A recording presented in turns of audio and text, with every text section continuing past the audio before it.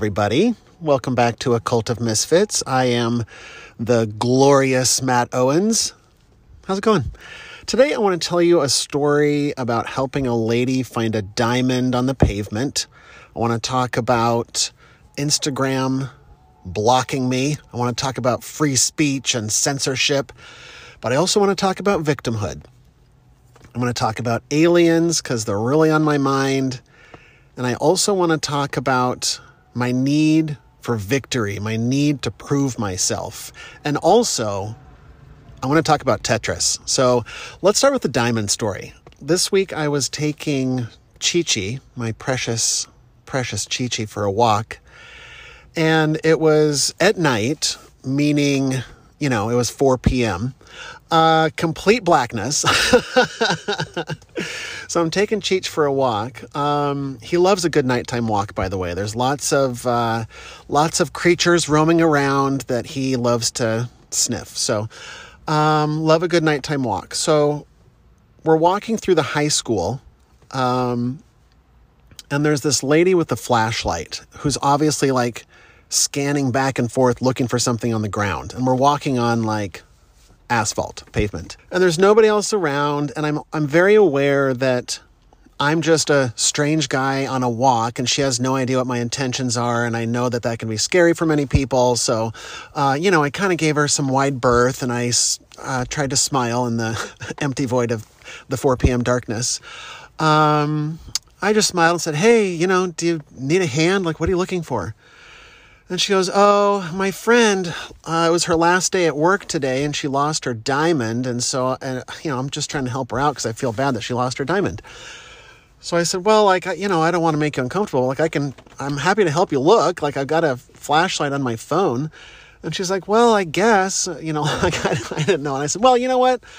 I'm sure it'll work out. Like, good luck. I don't want to, I don't want to, I don't want to freak her out. Right. So I said, Okay, well, have a good night, you know, whatever. And I just kept walking. Um, and I looped around and came back at the end of my walk, and she was still there. Now she's in the parking lot, uh, just scanning back and forth. And so uh, I said, you know what? I'm feeling lucky. So I, I, at this point, I'm yelling, kind of yelling at her because she's not that close to me. She's at the parking lot, and I said, "I'm just going to take a look with the flashlight. No big deal." And she's like, "Yeah, okay, like whatever, dude." Um, and so I'm like, I, I got a feeling I'm gonna fi- I'm gonna find this fucking diamond. And so I whip out my flashlight on my cell phone, which, you know, isn't super powerful, but like if, if it's gonna if it's gonna get the job done, it's gonna like, you know, glint in the diamond and I can see it in the darkness or whatever. So I'm just scanning back and forth, like letting my letting the force lead me to you know to, to the location of this diamond. Um, and so I'm just scanning back and forth with Chi Chi on the leash, just looking at me like, what the hell are we doing? Um, I'm like, come on, boy, where's the diamond? Where's the diamond, boy? He that's what I need to train him to do is to search for diamonds, but that's for another day, obviously. Um, so we're scanning back and forth, and I'm like, you know what? I'm I'm just confident I'm going to find this fucking diamond. And so, sure enough, my flashlight tags something on the ground that's shimmering, and I'm like, no way. And so I bend down. I, would already had a couple of false alarms. So I thought like, well, it's on this as this old asphalt pavement. And so there's lots of like little pebbles and little tiny stones and stuff. So like everything kind of could be a diamond maybe. So it's kind of not the best, uh, you know, place to be losing your diamond. Um, but I see it in the light of my iPhone and I bend down and it's a fucking diamond. And so I stand up and I said, I got it. And she she jerks up. She's like, "What? No, you didn't." She's kind. There's kind of like a little bit of anger in her voice. She's like, "No, you didn't." And I said, "Yeah, like I got like I felt like I found a diamond." And so I start walking it over to her slowly, realizing like, you know, she doesn't know my intentions. And again, like it's dark out, there's nobody else around. So I'm trying to just be cool about it. So I'm like extending my arm outward, like, like I'm approaching a wild animal or something, uh, letting her know my peaceful intentions. And I said, well, like I, you know, I, I did find it. Uh, like if you want to take a look at it, I don't know what it looks like or whatever, but like, so I show it to her and she's very skeptical, right? Obviously, and on high alert. And so I just say, look, you know, like you can just take it. I, I have, I found it. Um,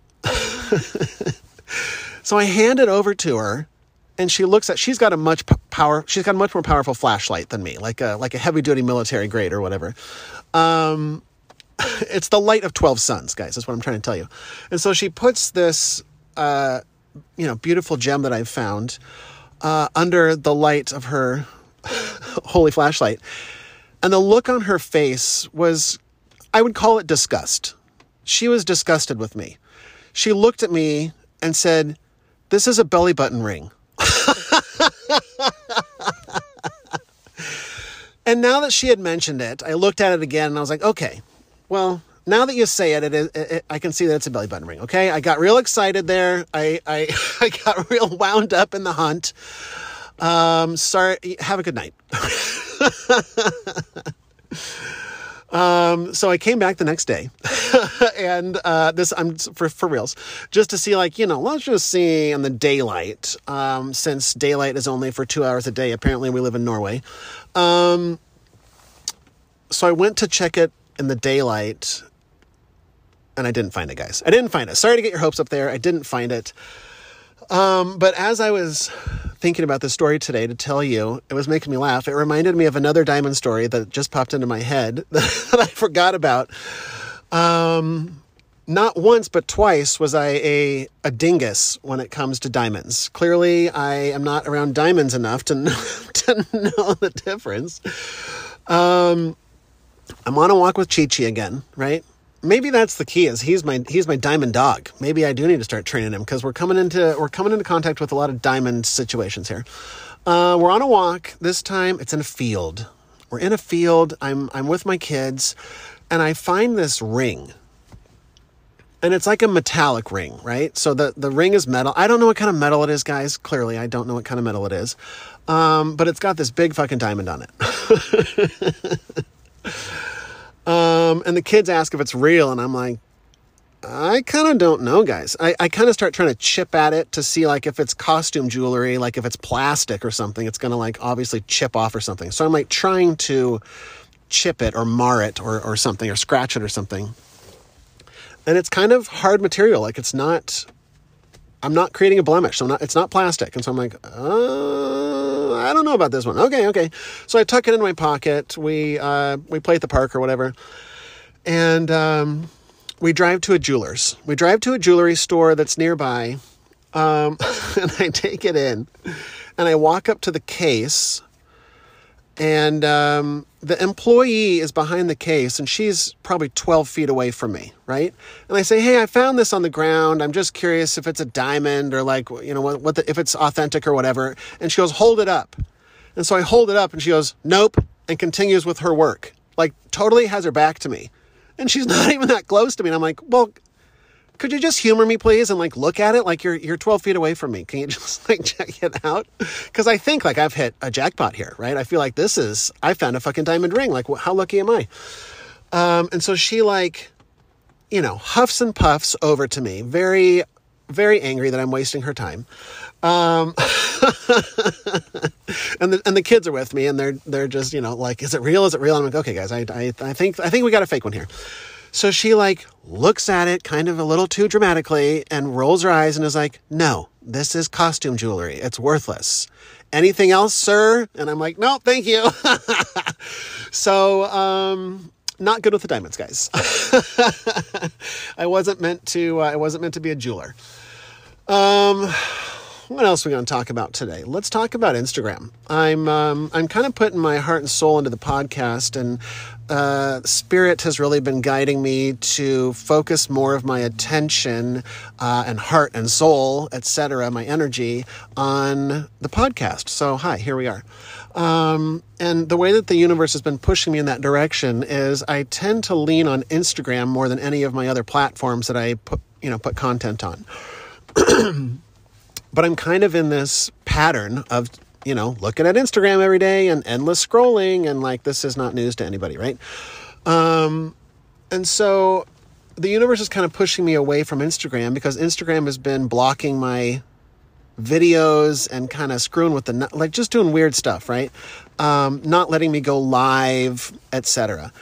Um, and I'm I'm kind of giving myself a pat on the back as this is happening to me because uh, I, you know, during the pandemic, I, I feel like I had what I would consider a, a major spiritual awakening slash uh, you know, dark night of the soul, right? we, um, and during that time, my eyes were opened in a new way to how things are perhaps operating on this planet with our government, etc. And uh, I got real riled up about free speech. I got real riled up about censorship, and I got real irate uh, at the whole concept. Right? Like, how dare they try to censor me? Uh, you know, I got real wound up about it, and I got to a point in my path, my growth, whatever you want to call it, where I um, I started questioning that. I started because I didn't like that feeling in my heart, to be honest with you. And I, I wanted to change that because what I realized is that in blaming social media and shaking my fist at the government and, uh, you know, the, the pharmaceutical companies and all of that, and I don't mean to downplay any of it, right? Because it's all real and I believe that it's all a, a thing. But w- what I'm talking about is my reaction and response to it. Rather than shaking my fist in the air and getting real riled up about it, I realized that I was um, playing in victimhood. And I had never really thought about that before, and I had never really pondered it uh, and and seen how much I was playing the victim in my own life, particularly at this place in, in time, right around the the pandemic. And so, um, once I started addressing that within my own heart, that victimhood, it started melting away my anger for social media, my disdain for the government, and uh, you know the, the long list of atrocities that are going on around the world, right? And again, I don't mean to downplay it all, but like it, it all depends on how you choose to react to it. It's all in how I was choosing to respond to the government or Instagram or YouTube or whatever, whoever it was that was doing me wrong, those guys, right? The 1% or, you know, whatever. Fill in the blank with whatever. It was me playing the victim. And so once I started consciously making a shift, becoming aware of how often I was playing the victim, uh, then I could become more aware of how I, I could see it now. I was aware of it. I was like, okay, shit, I'm actually playing the victim a lot. And I would like to change that within my own life, within my own heart. And so I'm going to start changing that. I'm going to start responding to these things differently. I'm going to stop freaking out about it. And it was a process, it was baby steps. It, it, it did not happen instantaneously. and so I'm patting myself on the back because it's it's come full circle now. And Instagram is up to its, you know, shenanigans again. But at the end of the day, like they can do whatever the fuck they want. It's their platform. so like I can choose to get riled up about it or not. And so um, the new the new improved version of me is choosing not to get riled up by that sort of thing. So um, that's because of the practice that I've done over the last several years of just letting that shit go. So, um, I'm just taking a break from from from Instagram. I'm still posting to YouTube, but uh, they did me dirty a few years ago, guys. But let's not talk about it. We've let that shit go, right? so I'm still I'm still uh, posting the, the podcasts um, on uh, Spotify and Apple Podcasts and YouTube, and I love seeing the statistics, seeing you know who's listening to me. So hello to everybody who's who's checking checking out the podcast. Um, I've got listeners from the US, obvi, uh, the UK, India, uh, where else? Germany. Got a couple of Germans out there. Hello, Germany. I've been to Germany. I loved it. It's very similar to the Pacific Northwest, uh, which I love. So it's a beautiful, beautiful country. Shout out to Germany. Um, what else we got, guys? Let's talk about aliens that's uh, that's what's on my mind here, and it's a huge topic, and I I want to I was gonna do like I was gonna dedicate one episode to talk about aliens, but like let's just talk about it in little bits and pieces. Um, because I'm thinking about disclosure a lot specifically this week. Disclosure, uh, you know, like the big reveal. Hey guys, there's aliens. Like, I think we're kind of past that in many ways. And of course, there are some people that believe that there are not aliens or uh, whatever. But uh, everybody has a different opinion, right? And at the end of the day, who knows? But um, you know, just looking at the evidence, there, there's a lot. There's a lot pointing to the fact that that there's aliens here, guys. Even if ninety percent of all that stuff out there is fake, that there's there's a lot of evidence pointing to the fact that there's that there's aliens out there, right? Okay, so I feel like that's that's not even what the debate is about anymore. I feel like we've moved on past that as a civilization, um, and the majority of people, I believe, are in the camp that like, okay, fine, yes, there's probably aliens here. Okay. Now, I ask myself often, just because like I think about this stuff nonstop, right? That why hasn't there been a disclosure yet? I think that it's, and I think that the answer is that it's beyond. They're here. I, I don't think that. I think we're past that. I, I think that part of the reason why perhaps they haven't been revealed yet or shown themselves or whatever is because of a, well, I have a couple different options here. The first option is that they are like reptilian, right? Or look terrifying or look demonic or, or something along those lines, right? Where their appearance is going to scare the shit out of most people. I think that maybe that's option number one is that, hey, there are aliens here, but um, just a quick heads up, they do look like demons. Uh, so if you can get past the fact that they, they look demonic, um, they're really great species, guys. Real fun guys to hang around. Uh, real knee slappers, these, these reptilians. Uh, so I think that's option number one is that perhaps they just would scare the shit out of us, right? Or option number two is that there's some sort of interdimensional, uh, or they're they're hidden from our human eyes visually in some way, and that the real truth is that the real big reveal is that they are around us at all times, and they always have been. I think that that would really freak a lot of people out, and I think that maybe that's why disclosure I'm trying to think of like why would it still be hidden? What reason beyond surprise they're here? Um, beyond that, like what's the real reason perhaps that, that that they haven't revealed themselves? And I think it's because what would really scare most people, and I think it would be that scary demon faces. um, or perhaps I've also been thinking about like just stuff that is beyond most people's comprehension. Uh, that's just sort of like, you know, everybody has a different level, right? It's not like uh, uh everybody has a different, trying to be kind. Um, everybody has a threshold where they're like, nope, I'm checking out. That's too much for me. Nope, tagging out on that one. I'm uh, you, you got me there. That's that's too much for me. And everybody has that level, right? Um, so that's okay. Everybody's level is different. Everybody's everything's a spectrum, guys. Um, and so I'm wondering what that level is where most people would say, nope, that's fucking too much for me. Nope, no, thank you. Um, you know, the, the considering that we might be living in a simulation of some sort, um, I, I don't think that would freak out most people. It's it's kind of seems a little weird to some people, perhaps. Like like I get why people would be like, no, that's crazy. Like I get that, but I don't think it would freak out civilization. So um, you know, the quest continues to figure out like what the hell's going on around here. I've been really into um, just diving into the weird stuff, right? About stargates and portals, and I'm I'm just constantly wondering. There's just so much that we don't understand. P- part of me um, is starting to wonder, and I'm not the first person to think of this, of course, but I'm starting to think about this theory that um, you know the gray aliens, the the you know your typical Martian or whatever that has the big eyes and, and is gray or whatever and four feet tall, um, that there's some sort of a, a, a, past version of ourselves or some sort of a future version of ourselves, what we evolve into, um, uh, you know, either on a, a different timeline or, or whatever and that they're time travelers. We are time travelers, so that they're humans in you know a million years. That's what we look like, or perhaps that's what the reptilians are. They are just a, a future, more advanced version of ourselves, and that's we're just not ready for that kind of revelation yet, right? So these are the things I'm thinking about, like. There's enough alien crashes. There's enough stories from people that to me appear reputable. Not all of them, of course, right? But um, I just like to always weigh the options. I always like to look at it. Like I really want it to be true, but I've learned to to practice um, trying to look at the other side and and say like, well, you know, there is a chance that uh, that there are no aliens. That the whole thing is just some kind of a mix-up.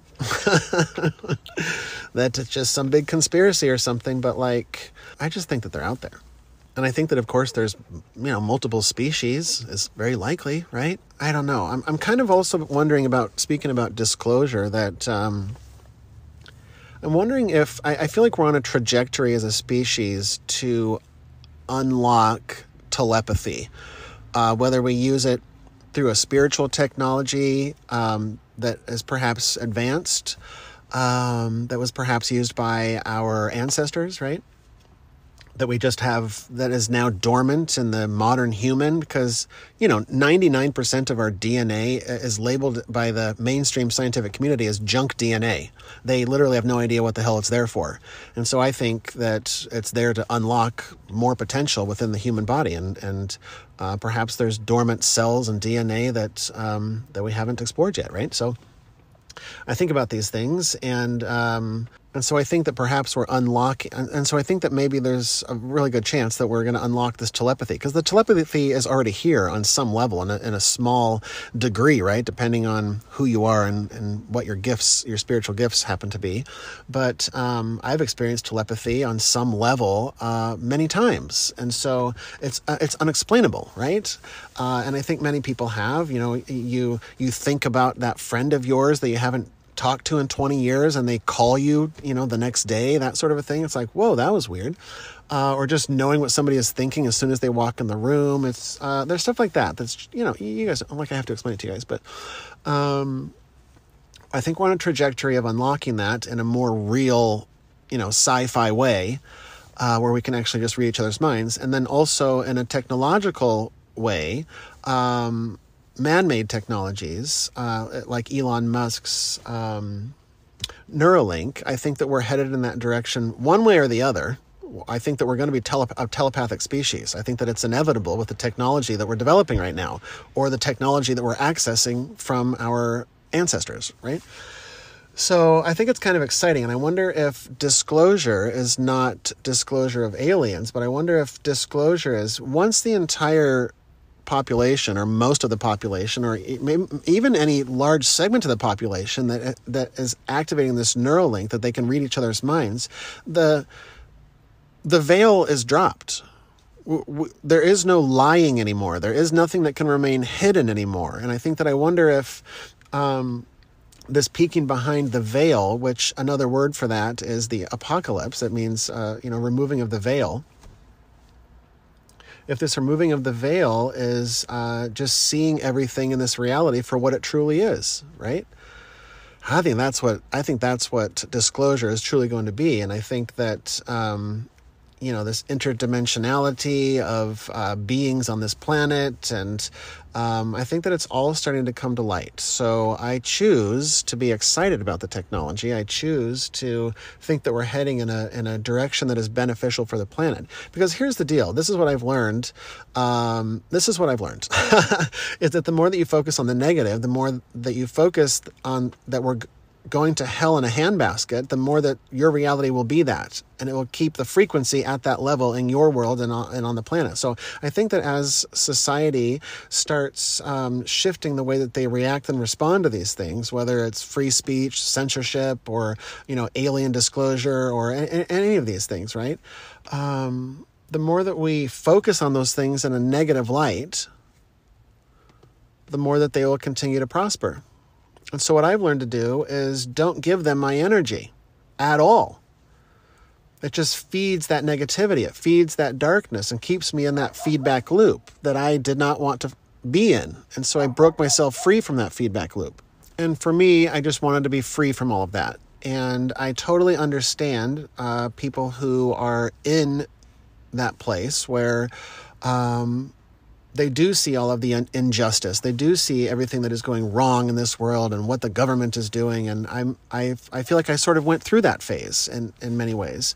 And so for me, uh, I feel m- much more free, which is what I'm essentially looking for. I just feel free from all of it now because I've just let it go. All right, let's talk about Star Wars.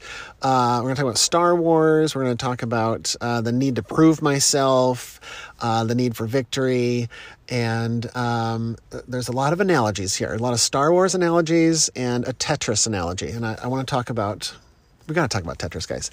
Um, so I'm watching one of the Star Wars. It was a third one, I think. I don't even remember, but um, Obi Wan Kenobi said to Anakin Skywalker, Your need for victory, Anakin, blinds you.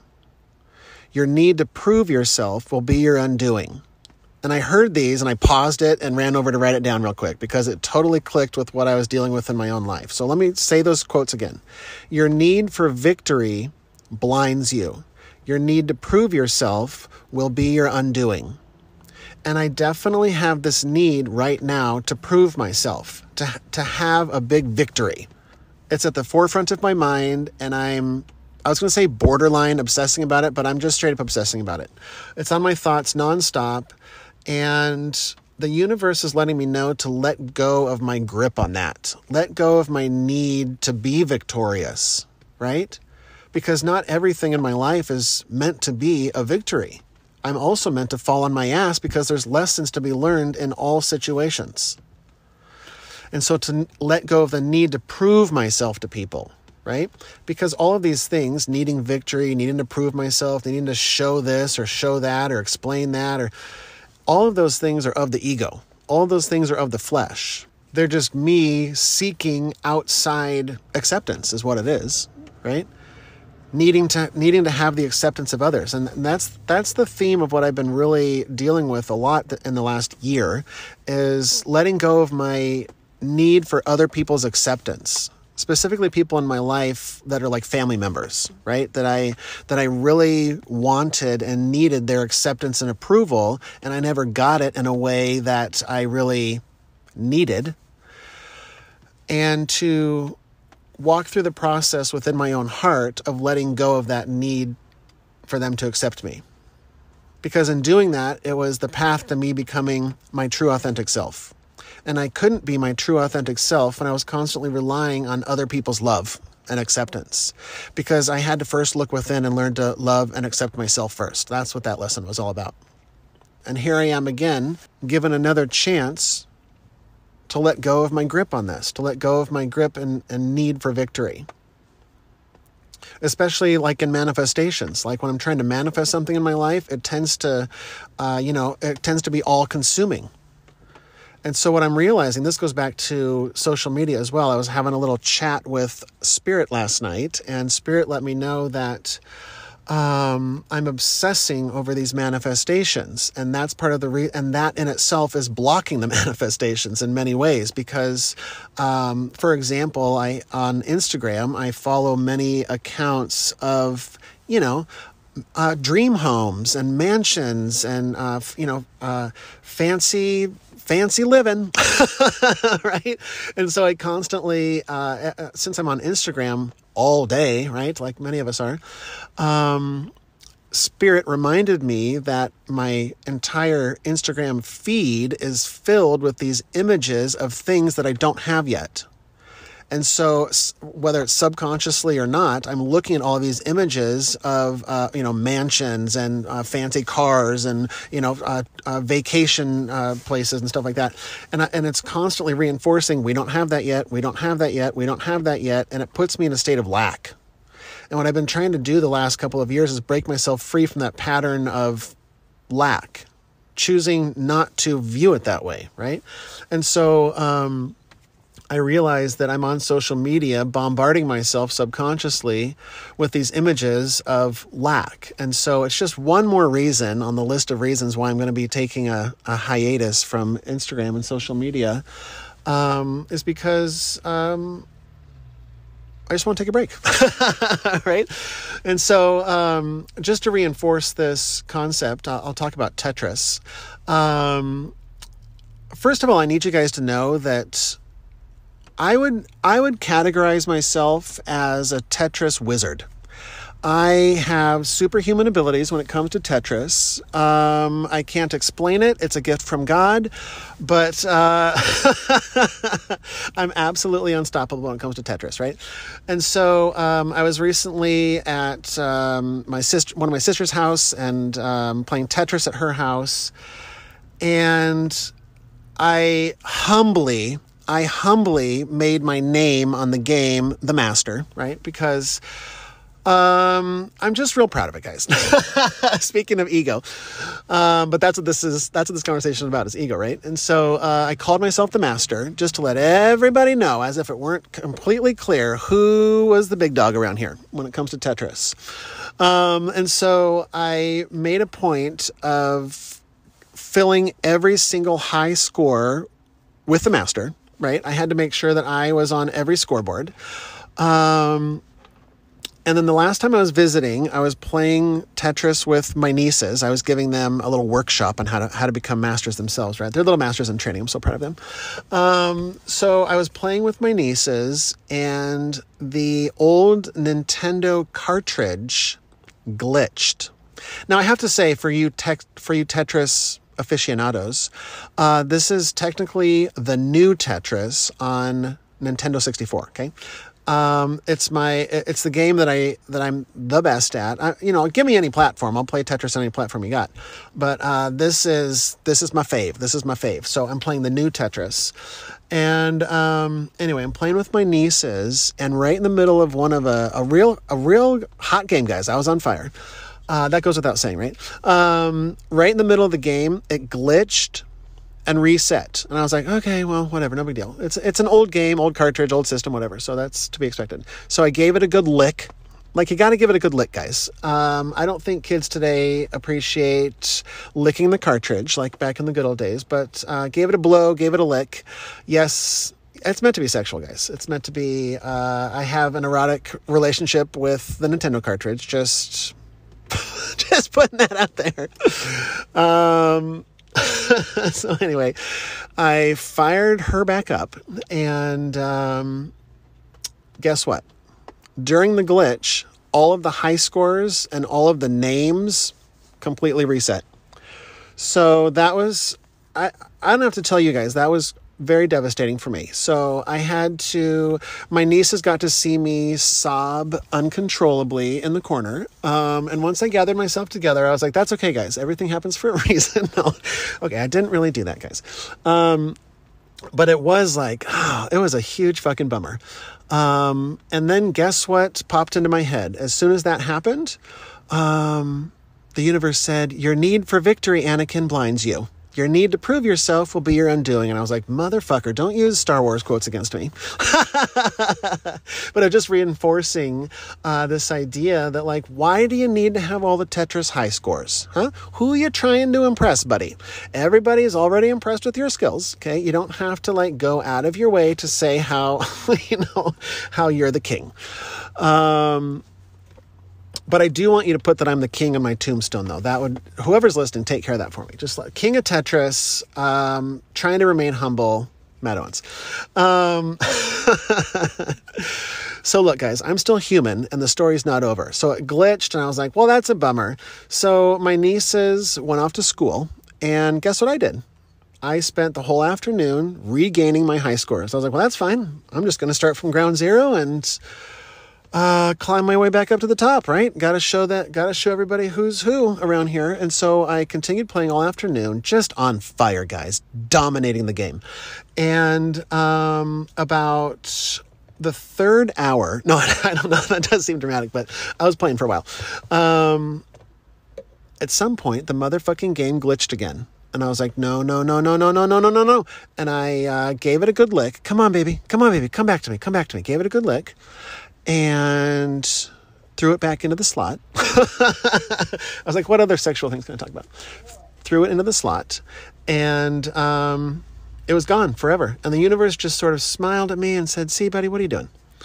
What are you doing there? Uh, you got to give up trying to prove yourself, right? Like, just play for fun. Enjoy the moment, enjoy the game.